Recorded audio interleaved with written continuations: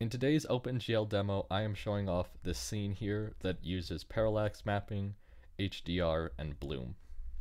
So as you can see here, we have two cubes, one with this brick texture and one which is a light source. So I can push T and that pauses the scene.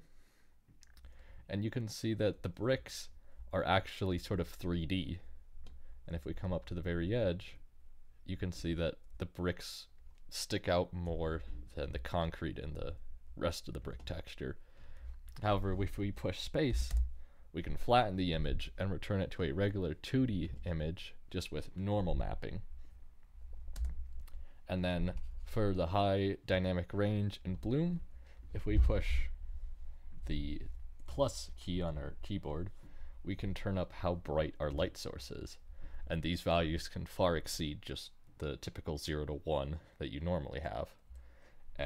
And can go minus to turn the light source back down and eventually bring it to 0. Just like that. Alright, so to show how show off how this works, let's first cover how we do the parallax mapping. So what we do is we have this texture, which is it's the shape of the bricks, it's just black or white, and this tells our code where to indent everything and bring it down, or where to leave parts where they are flat on the plane. And then if we go to our fragment shader, we take in the display texture, and then we have this function here, parallax mapping. So we set two floats, a min layers and a max layers, and then we set a numbers of layers equal to a mix between the two based on our view direction. So if we're staring at it directly head on, we don't need as many layers as they're not going to be visible compared to us staring from the side. And then we get a layer depth, which is equal to 1 minus the number of layers. Then we calculate current layer depth, so it starts at 0.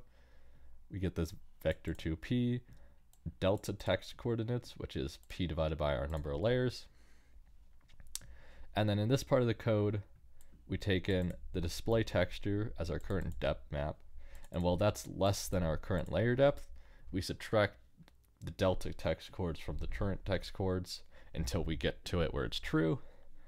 And then we do a little bit more math here, but in the end, we return a final tex coords. So what this does is basically when the texture does not, when the actual colors on the texture, it has to compare those to the black and white values on that display texture. And if the display texture says that it should be further back, then it will physically move the text coordinates back until they're about at lineup.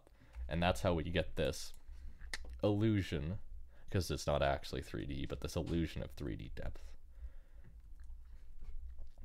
And then once we're done with this, we can move on to high dynamic range and the bloom.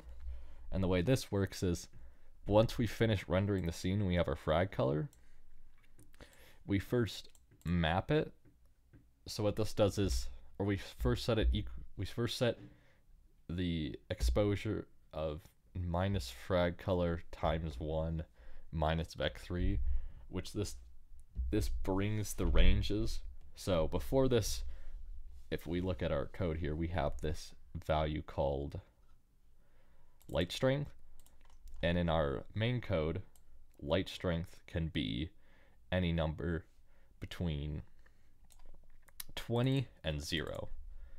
So what this does is it clamps the values between 0 and 1, but it does it in a way where you don't just set anything greater than 20 equal to 1 or anything and we don't do values negatively. But and before this, like if we just took this color right here and then just displayed that to the screen, once we got past 1.0, it would just clamp it. So anything that's that bright just stays that bright and you kind of get this weird white color that washes over everything.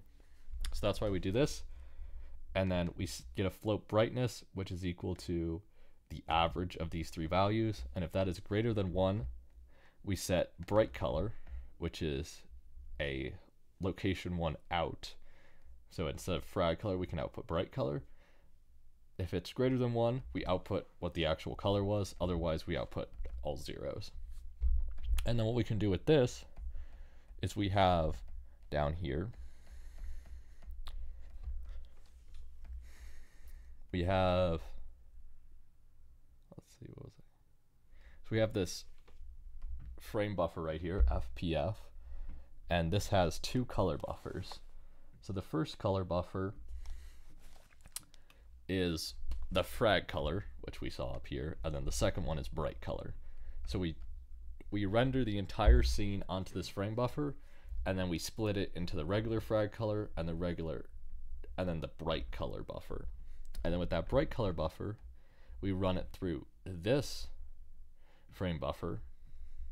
And what this one does is it's actually two frame buffers, and we render it into this blur vertex and blur fragment and this just applies a Gaussian blur, so blur that it's just a kind of blur that makes everything look blurry on top of the bright colors.